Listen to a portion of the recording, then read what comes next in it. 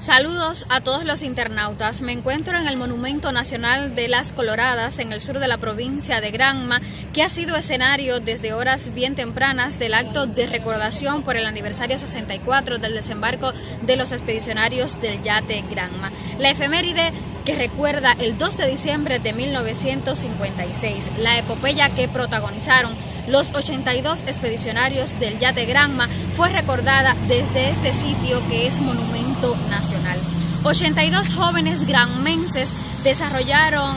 el desembarco simbólico de aquel 2 de diciembre. A mi lado se encuentra Jairon Quiñones Matos, quien es el vicepresidente provincial de la FEN en Granma, que ha sido uno de los protagonistas de esta mañana, uno de los jóvenes que ha formado parte de la reedición 64 del desembarco simbólico. Muy buenos días para ti, Jairon. Quisiera que nos comentaras a todos los internautas ¿Cómo ha sido la experiencia? que es la primera vez que protagonizas el desembarco simbólico? Y como joven granmense, como joven cubano, ¿qué simboliza para ti y para el resto de los que protagonizaron este hecho esta mañana tan histórica y tan de recordación y de homenaje?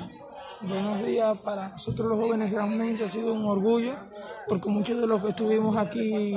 reeditando este acto simbólico, muchos es la primera vez que venimos y nos sentimos sinceramente muy confortados porque volvimos a retomar aquel hecho tan importante para la Revolución Cubana y nos sentimos emocionados principalmente porque no es lo mismo desde un aula que un profesor nos imparte el contenido a uno que está aquí, vivirlo, sentirlo, ver por donde caminaron, los mismos pasos nosotros los dimos y tener un intercambio directo con la historia, porque no solamente fue el hecho de hacer el recorrido, sino también de que tuvimos intercambio con muchos de los que participaron, eh, nos comentaron cuáles fueron las vivencias, cuáles fueron los tropiezos que tuvieron durante el camino, pero aún así ellos reafirmaron la decisión de luchar, de continuar, y esa misma convicción la tenemos nosotros los jóvenes granmenses que nos hemos comprometido a hacer la continuidad de esta revolución y decirles que es un orgullo para la FEN Gran Mesa haber participado acá porque estamos cumpliendo 50 años y uno de nuestros principales orgullo en la campaña por el 50 aniversario es haber participado con 25 estudiantes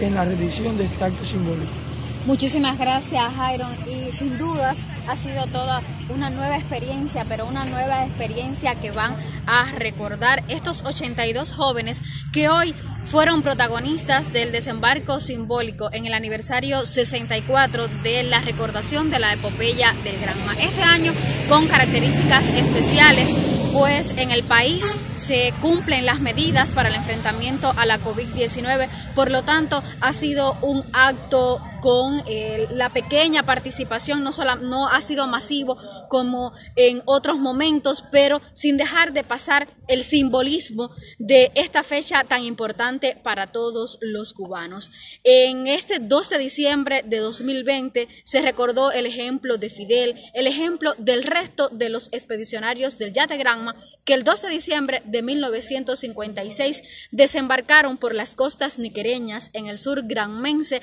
para abrir una nueva página en la historia de Cuba que marcó el inicio de la última etapa de nuestro proceso de liberación nacional. Ha sido una mañana de homenaje, una mañana de tributo, una mañana de recordación y una mañana para seguir el ejemplo y ser continuadores del legado de esos 82 hombres que no importaron los sacrificios para poder eh, desembarcar por aquí, por estas costas y poner proa hacia la libertad. Muchísimas gracias por este contacto y eh, seguiremos informando en otras oportunidades desde el sur granmense para todos nuestros internautas. Muchísimas gracias.